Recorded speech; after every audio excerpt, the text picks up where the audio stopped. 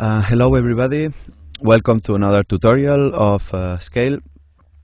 Uh, in this one I will show you how to create a MUSHRA test.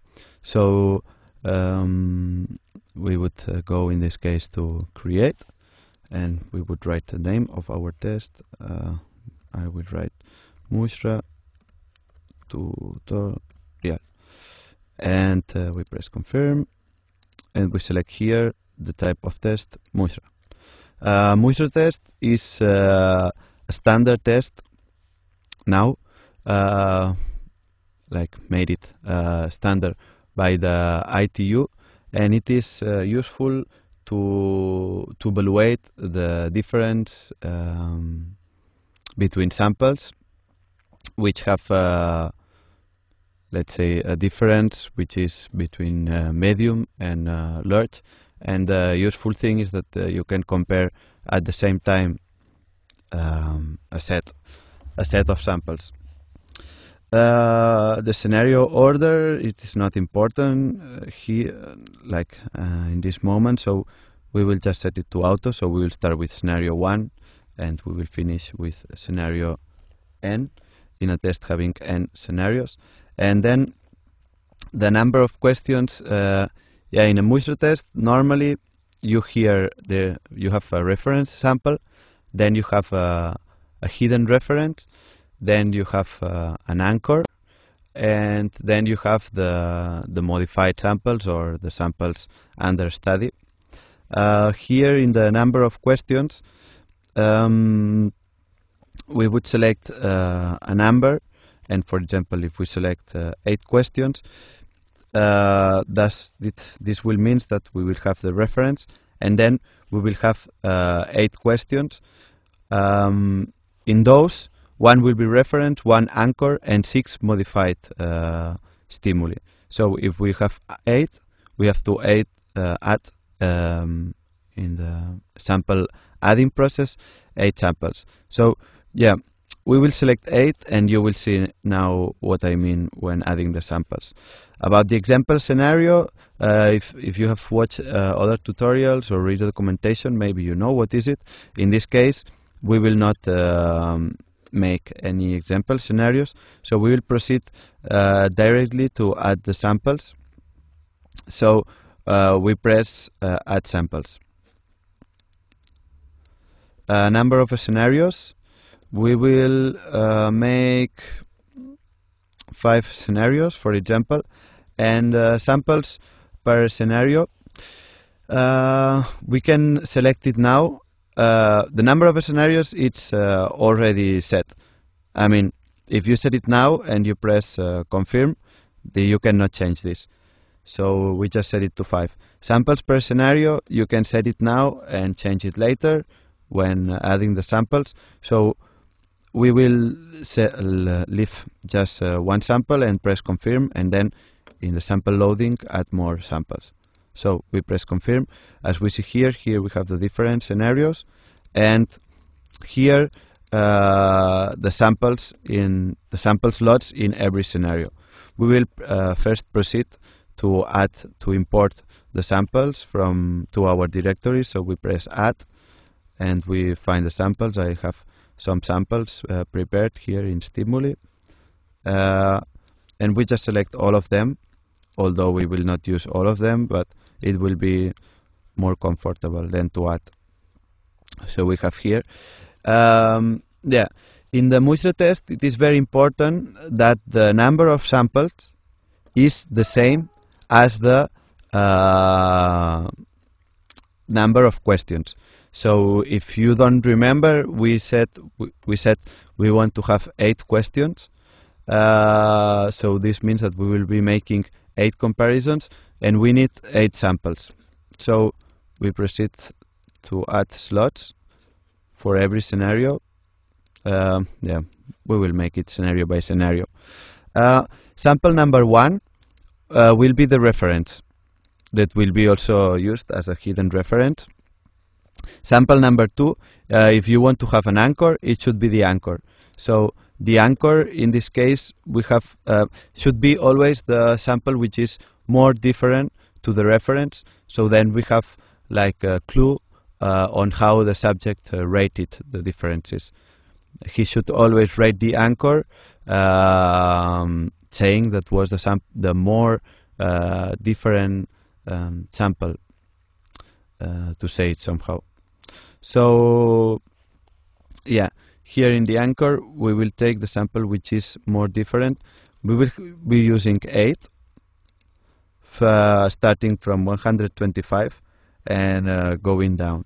So we would add first this one, 26, 27, oops, 28, 29, 30, 31. And here we need the, as I said, lots of times the one that which is more different to the reference. So it would be then, if the last was 131, 132. Uh, scenario number two, we made the same, uh, but we will be starting in this case to make it a little bit different with 250. 251. I mean, it sounds a little bit complicated, but if you are performing this test, I I suppose uh, you know how it works. So then it makes uh, more sense all this sample adding process. Um, yeah, 256. Yeah, and here, as I said before, the one which is more different, 257. Yeah. So same 8. Oops. Uh, now with starting with 500 501 502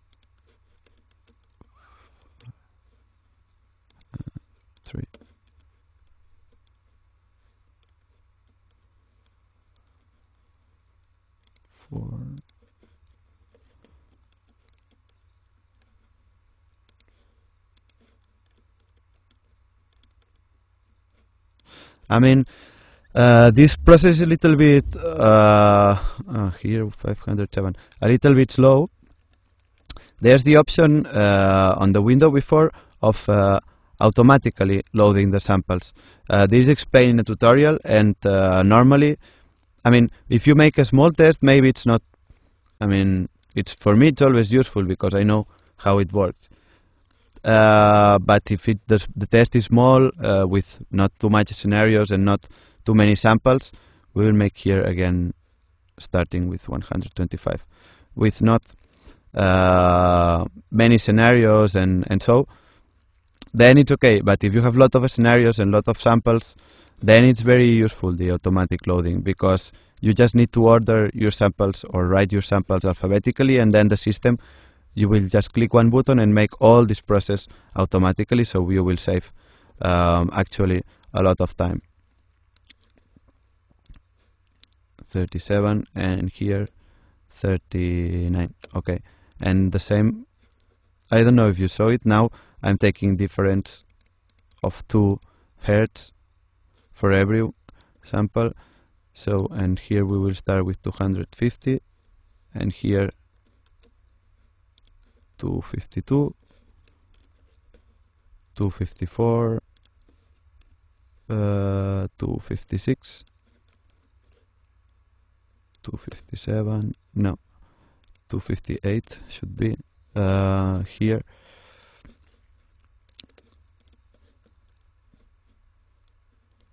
Two sixty and two sixty two, and here the one which is more different 264 yeah uh, samples are added. We just check to be sure because if not there will be an error and we will have to to repeat.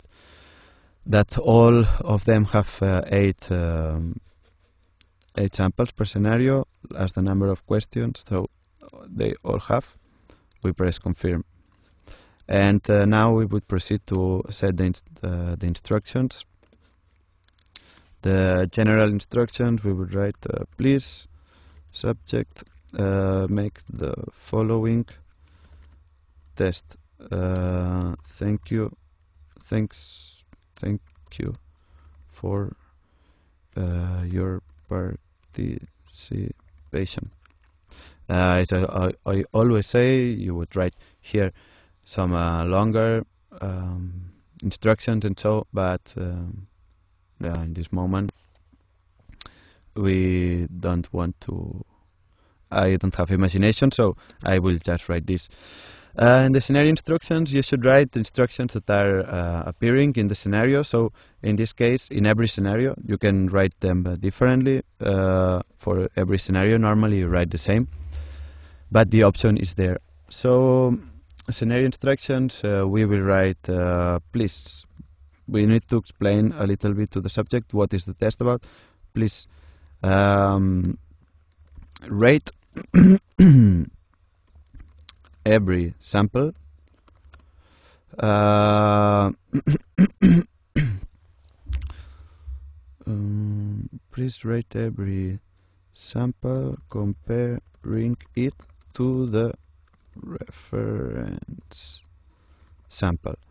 Uh, you can listen any sample by pressing the button under it. Um, yeah.